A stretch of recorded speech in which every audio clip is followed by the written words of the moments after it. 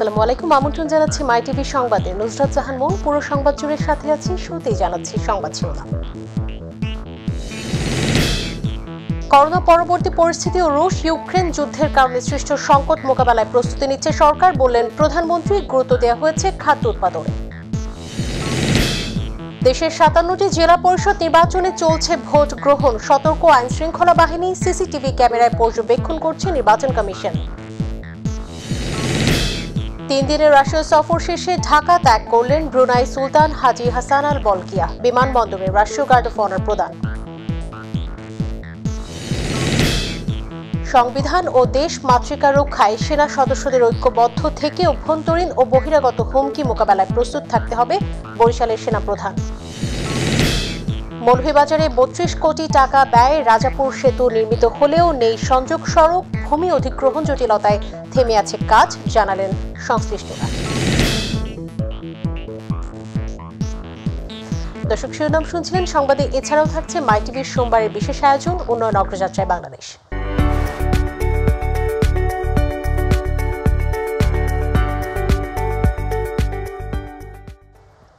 এবার বিস্তারিত।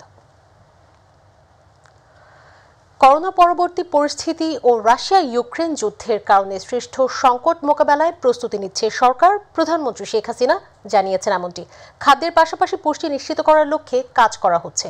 চতুর্থ শিল্প বিপ্লব সামনে রেখে কৃষি সহ প্রতিটি ক্ষেত্রে যান্ত্রিকীকরণে জোর দেওয়া হয়েছে।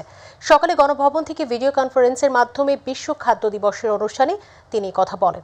পঁচাত্তরের পর সামরিক সরকার দেশের খাদ্য উৎপাদন না বাড়িয়ে আমদানি নির্ভর করে তুলেছিল জানিয়ে তিনি বলেন, বর্তমানে খাদ্য উৎপাদনে বেশি গুরুত্ব দিচ্ছে সরকার। সুষম খাদ্য খাদ্য, নিরাপদ খাদ্য, এটাই আমরা নিশ্চিত করতে চাই যে আমাদের দেশের মানুষ না, বিশ্বের মানুষই এই খাদ্য, এটা একান্তভাবে প্রয়োজন আর এ চাহিদা কোনোদিন কমবে না এ চাহিদা বাড়বে। কাজে আমরা যত উৎপাদন বৃদ্ধি করতে পারি আর যত বেশি খাদ্য, চাহিদা মেটাতে পারি, ততই আমাদের মঙ্গল বলে আমি বিশ্বাস করি। দেশের সাতান্নটি জেলা পরিষদে চলছে নির্বাচন। সকাল নয়টায় ভোট গ্রহণ শুরু হয়। প্রতি উপজেলা সদরে স্থাপিত ভোট কেন্দ্রে ইভিএম এ ভোট নেওয়া হচ্ছে। ভোট কেন্দ্রে রয়েছে চারশো বাষট্টিটি আর ভোট কক্ষ রয়েছে নয়শো পঁচিশটি। নির্বাচনে ভোট গ্রহণ মনিটরিং এর জন্য প্রতিটি কেন্দ্রে সিসিটিভি ক্যামেরা স্থাপন করা হয়েছে। এবারে নির্বাচনে ২৬ জন চেয়ারম্যান, আঠারো জন নারী সদস্য এবং পঁয়ষট্টি জন সাধারণ সদস্য বিনা প্রতিদ্বন্দ্বিতায় নির্বাচিত হয়েছেন। চেয়ারম্যান পদে বিরানব্বই জন, সদস্য পদে এক হাজার চার চারশো পঁচাশি জন ও সংরক্ষিত নারী সদস্য পদে ছয়শো তিন জন প্রতিদ্বন্দ্বিতা করছেন। নির্বাচনে মোট ভোটার রয়েছেন ষাট হাজার আটশো ছেষট্টি জন। দর্শক, বরিশাল থেকে ভোটের সবশেষ তথ্য জানাতে যুক্ত হচ্ছেন সহকর্মী পারভেজ রাসেল। আমি আসলে যেমনটা জানিয়েছিলাম যে জেলা পরিষদের নির্বাচন, এর পরবর্তীতে যে আজকে কিন্তু বরিশাল জেলায় মোট ষাটটি উপজেলায় কিন্তু একযোগে সকাল নটা থেকে ভোট গ্রহণ কার্যক্রম চলছে। এর মধ্যে, এর আগে মোট দশটি উপজেলার মধ্যে তিনটিতে কিন্তু বিনা প্রতিদ্বন্দ্বিতায় আসলে নির্বাচিত হয়েছে এবং এই ষাটটি উপজেলার ষাটটি ভোট কেন্দ্রে ভোট গ্রহণ চলছে। এর মধ্যে মোট ভোটার রয়েছে বারোশো সাতাশি জন। সকাল থেকে এখনও পর্যন্ত সুষ্ঠু, সুন্দর নিরাপত্তার মধ্যে দিয়ে কার্যক্রম চলছে। ইতিমধ্যে এসেছেন যিনি পিজেডিং অফিসার দায়িত্বে ছিলেন বরিশালের জেলা প্রশাসক জসিমুদ্দিন হায়দার, এসেছিলেন Barishal BMP metropolitan police commissioner যিনি রয়েছেন সাইফুল ইসলাম। এছাড়াও আনসার বিডিপি এবং জেলা যে পুলিশের দায়িত্বে রয়েছেন গোয়েন্দা বিভাগ, সকল পুলিশের কিন্তু আসলে কর্মকর্তারা, ঊর্ধ্বতন কর্মকর্তারা ভোট কেন্দ্রকে ঘিরে নিরাপত্তা বলা নিশ্চিত রেখেছেন। বরিশাল যে কেন্দ্রটি রয়েছে, জেলা স্কুলে এখন পর্যন্ত সদরের, এখানে যে ভোটার রয়েছে একশো চুয়াত্তর জন। এর মধ্যে বেশ কিছু অনুপস্থিত থাকলেও বাকি ভোটাররা কিন্তু স্বতঃস্ফূর্তভাবে এসেই কিন্তু তাদের ভোটটা দিয়ে যাচ্ছেন। তবে এখন পর্যন্ত কোনো ভোট কেন্দ্রে কোনো সহিংসতা বা সংঘাত বা ভোট অন্যত্র প্রয়োগের কোনো অভিযোগ নেই। ইভিএম পদ্ধতিতেই ভোট চলছে। ভোটাররা ভোট দেওয়ার পরে কিন্তু তারা যে আসলে নিজের ভোটটা নিজে দিচ্ছেন বা সে আনন্দটা, তারা বারবারই বলছে যে তারা এতদিন জনগণের ভোট নিয়েছে, আজ তারাই হচ্ছে আসলে ভোটার। তারা ভোট দিচ্ছে নতুন করে জনপ্রতিনিধি নিয়োগের জন্য। তো আনন্দমুখর পরিবেশে এখন অবধি পর্যন্ত ভোট গ্রহণ কার্যক্রম চলছে বরিশাল থেকে। তো আপাতত এই রয়েছে বরিশাল থেকে আমার কাছে উপজেলা পর্যায়ে নির্বাচনের সবশেষ তথ্য। বরিশালের মেহেন্দিগঞ্জ জেলা থেকে জেলা পরিষদ নির্বাচনের আরও তথ্য জানাতে যুক্ত হচ্ছেন প্রতিনিধি মোস্তাফিজুর রহমান শিবলু। ধন্যবাদ আপনাকে। আপনি জানেন যে আজ সকাল নয় ঘটিকা থেকে দেশের সাতান্ন জেলায় ইভিএমের মাধ্যমে জেলা পরিষদ নির্বাচন অনুষ্ঠিত হচ্ছে। আমি দাঁড়িয়ে আছি বরিশাল জেলার মেহেন্দিগঞ্জ উপজেলার ঐতিহ্যবাহী বিদ্যাপীঠ, সরকারি পাথাট আরসি কলেজ, ভোট কেন্দ্রে। আজ সকাল থেকেই ভোটাররা বিভিন্ন ইউনিয়ন, ওয়ার্ড, দূর দূর দূরান্ত থেকে এসে ভোট প্রদান করছেন। এই উপজেলায় সাধারণ সদস্য, পুরুষ প্রার্থী পাঁচজন, সংরক্ষিত মহিলা প্রার্থী তিনজন। নিজ নিজ প্রতীকে প্রতিদ্বন্দ্বিতা করছেন। দুটি ভোট বুথে পুরুষ ভোটার একশো পঁয়ষট্টি জন, মহিলা ভোটার চুয়ান্ন জন ভোট প্রদান করবেন। আপনাকে আরেকটা কথা জানিয়ে রাখি, ভোটারদের মধ্যে ব্যাপক উৎসাহ উদ্দীপনা বিরাজ করছে। সর্বোপরি আইন শৃঙ্খলা বাহিনীর থেকে শুরু করে প্রশাসনের ব্যাপক তৎপরতা চোখে পড়ার মতো। তো এই ছিল আমার কাছে জেলা পরিষদ নির্বাচন, মেহেন্দিগঞ্জ থেকে সর্বশেষ। দর্শক, এবার নারায়ণগঞ্জ থেকে ভোটের খবর জানাবেন প্রতিনিধি আব্দুল আল মামুন। জি, ধন্যবাদ আপনাকে। আপনি জানেন যে আসলে নারায়ণগঞ্জ জেলা পরিষদ নির্বাচন সকাল নয়টা থেকে কিন্তু শুরু হয়েছে। একটানা চলবে দুপুর একটা পর্যন্ত। আমি এই মুহূর্তে দাঁড়িয়ে আছি নারায়ণগঞ্জ সিটি কর্পোরেশনের এক নং ওয়ার্ডে। প্রিপেটারি যে কেন্দ্রটি রয়েছে সেই কেন্দ্রটিতে। আপনি দেখতে পাচ্ছেন যে আসলে বিপুল পরিমাণ যারা সমর্থক রয়েছেন, এই এই এই যারা প্রতিদ্বন্দ্বিতা করছেন, তাদের কিন্তু যারা সমর্থক রয়েছেন, তারা কিন্তু আসলে এই কেন্দ্রটির সামনে অর্থাৎ আশেপাশে কিন্তু অবস্থান করছেন এবং তাদের যারা প্রার্থী রয়েছেন, তাদের জন্য তারা কিন্তু এখনও আমরা ভোট চাইতে দেখেছি। একই সাথে আসলে খুব প্রতিদ্বন্দ্বিতাপূর্ণ আসলে ভোট গ্রহণ চলছে। একই সাথে আপনি জানেন যে আসলে নারায়ণগঞ্জ জেলা পরিষদের চেয়ারম্যান এবং দুইজন সাধারণ যে প্রার্থী রয়েছেন, তারা কিন্তু বিনা প্রতিদ্বন্দ্বিতায় নির্বাচিত ইতিমধ্যে হয়েছেন। একই সাথে তিনজন সাধারণ সদস্য আর দুইজন নারী সদস্য পদে কিন্তু আসলে প্রতিদ্বন্দ্বিতা চলছে। এবং একটা পর্যন্ত ভোট গ্রহণ চলবে, এরপরে কিন্তু আসলে ধন্যবাদ আপনাকে। এদিকে ভোটের সার্বিক পরিস্থিতি সিসি ক্যামেরায় ঢাকা থেকে পর্যবেক্ষণ করছে নির্বাচন কমিশন। এবার ইভিএম এ ভোট গ্রহণ করা হচ্ছে প্রতিটি উপজেলা সদরের ভোট কেন্দ্রে। বাড়তি নজরদারির জন্য স্থাপন করা হয়েছে সিসিটিভি ক্যামেরা। আদালতের নির্দেশনায় স্থগিত করা হয়েছে চাঁপাইনবাবগঞ্জ ও নোয়াখালী জেলা পরিষদ নির্বাচন। বিনা প্রতিদ্বন্দ্বিতায় ভোলা ও ফেনী জেলার সব পদে নির্বাচিত হওয়ায় এই দুই জেলায় নির্বাচন হচ্ছে না।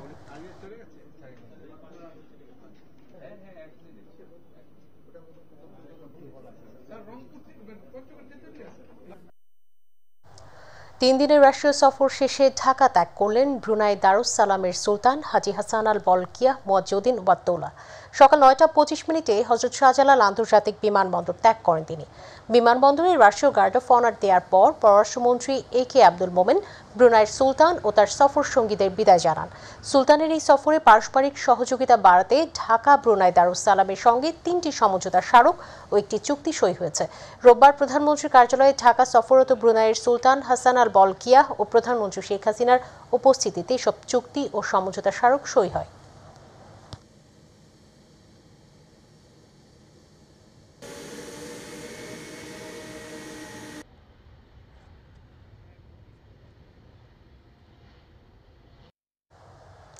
সেনাবাহিনী প্রধান general S M Shafiuddin Ahmed বলেছেন, সেনাবাহিনীকে একটি প্রশিক্ষিত, সুশৃঙ্খল এবং আধুনিক বাহিনী হিসেবে গড়ে তোলা হবে। এর নবগঠিত চারটি ইউনিট দক্ষিণ পশ্চিম অঞ্চলের নিরাপত্তা নিশ্চিতের পাশাপাশি এই অঞ্চলের সাধারণ জনগণের স্বপ্ন পূরণে বলিষ্ঠ ভূমিকা রাখবে। সকালে বরিশালের পায়রা নদী বেষ্টিত সাত পদাতিক ডিভিশন, শেখ হাসিনা সেনানিবাসের চারটি ইউনিটের পতাকা উত্তোলন অনুষ্ঠানে এসব কথা বলেন তিনি। দুর্যোগ মোকাবেলায় এবং আন্তর্জাতিক পরিমণ্ডলে সেনাবাহিনীর আত্মত্যাগের কথা স্মরণ করে সেনা সদস্যদের ঐক্যবদ্ধ থেকে অভ্যন্তরীণ ও বহিরাগত হুমকি মোকাবেলার আহ্বান জানান সেনাপ্রধান পবিত্র সংবিধান এবং দেশ মাতৃকার সার্বভৌমত্ব রক্ষার জন্য সেনাবাহিনীর সবাইকে ঐক্যবদ্ধ থেকে অভ্যন্তরীণ এবং বহিরাগত যে কোনো হুমকি মোকাবেলায় সদা প্রস্তুত থাকতে হবে।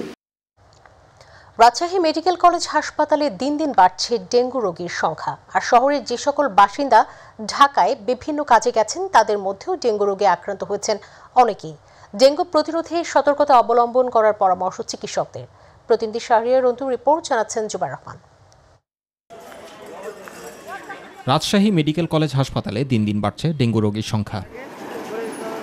হাসপাতালটির মেডিসিন বিভাগের তেরো থেকে পনেরো নম্বর ওয়ার্ডে মোট ডেঙ্গু রোগীর সংখ্যা ছিল ষাট জন। এর মধ্যে আটজন নারী ও বাহান্ন জন পুরুষ রোগী রয়েছেন। রোগীর সংখ্যার মধ্যে রয়েছে পাবনা জেলার শুধুমাত্র ঈশ্বরদী উপজেলার চৌত্রিশ জন রাজশাহী জেলার নয় জন নাটোর জেলার নয় জন চাঁপাইনবাবগঞ্জ জেলার তিনজন নওগাঁ জেলার তিনজন এবং কুষ্টিয়া জেলার দুইজন মশা পর্যাপ্ত পরিমাণ কামড়াচ্ছে কারণে ডেঙ্গু আমাকে আক্রান্ত করা তো অনেকেই হয়েছে কেউ দুদিন আগে দুদিন পরে এভাবে অসুস্থ হয়েছে তো।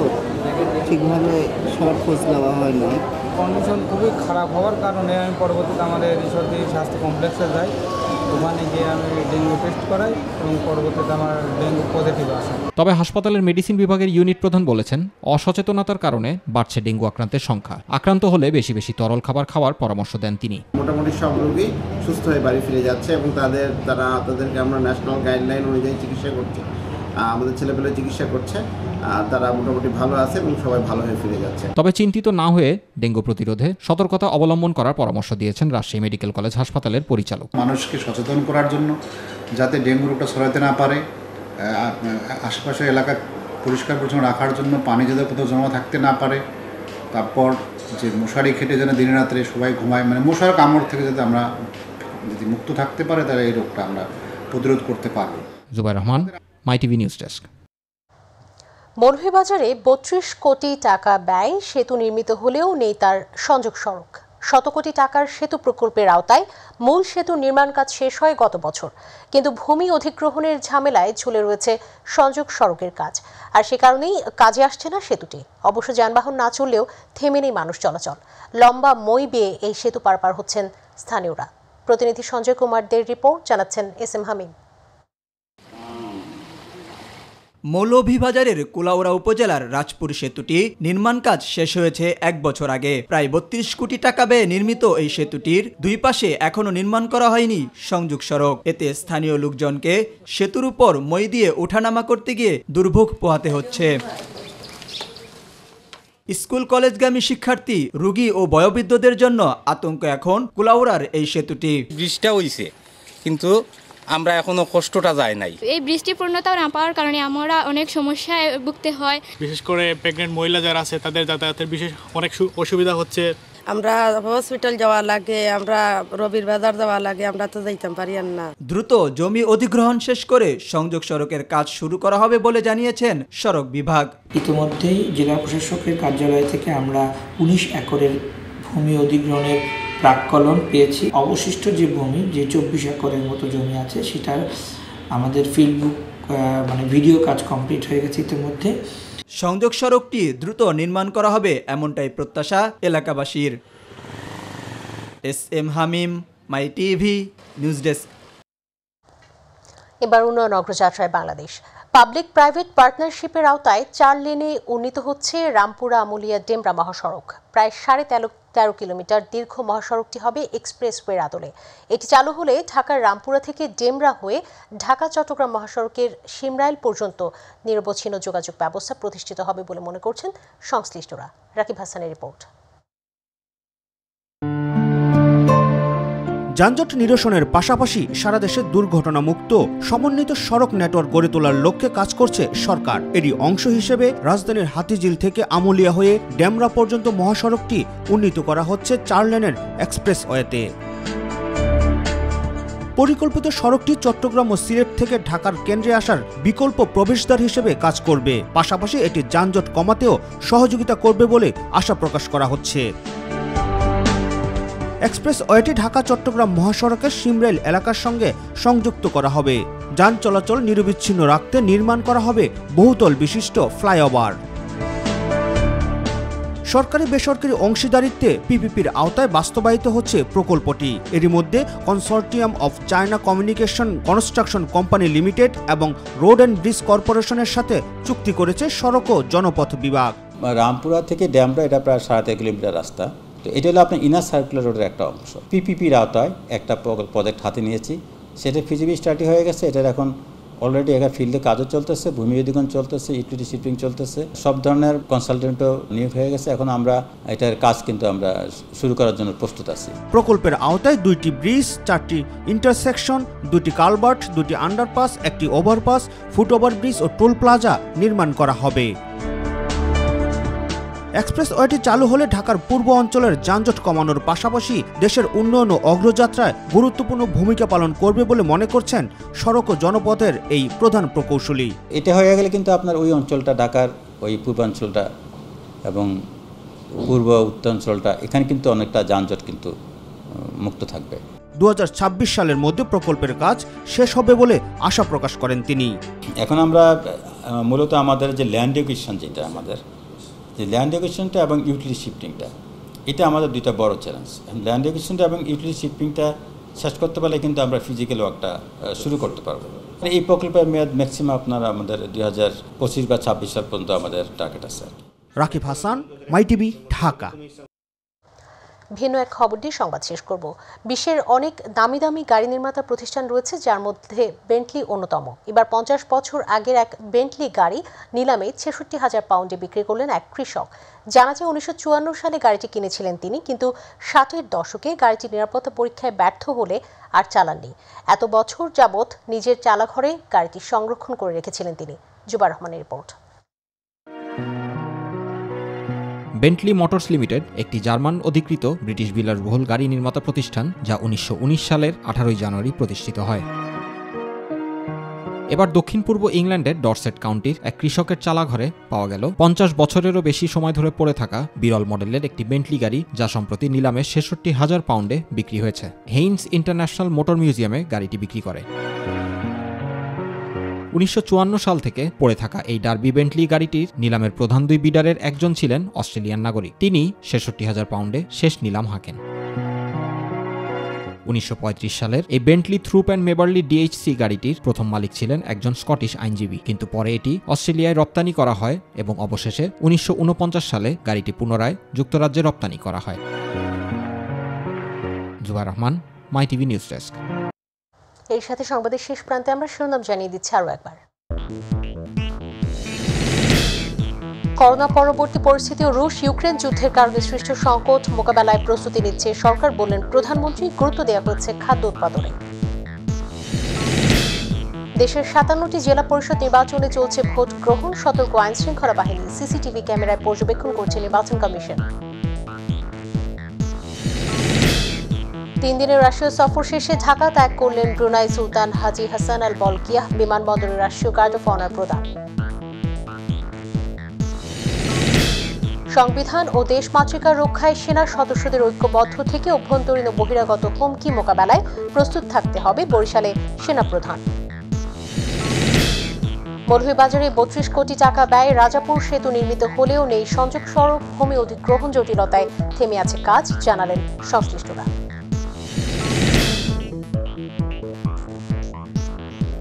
সঙ্গে থাকার জন্য ধন্যবাদ। এছাড়া ইউটিউবে মাই টিভি সংবাদ পেতে ভিজিট করুন YouTube slash My TV BD news এবং আমাদের অনুষ্ঠান দেখতে ভিজিট করুন YouTube slash My TV Bangla Facebook slash My TV Bangla. পরে সংবাদ দেখার আমন্ত্রণ জানিয়ে বিদায় নিচ্ছি।